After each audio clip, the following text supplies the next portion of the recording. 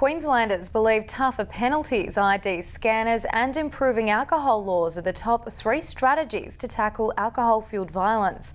Out of more than 12,000 respondents, three quarters considered central nightclub districts a place where alcohol-fuelled violence is of particular concern.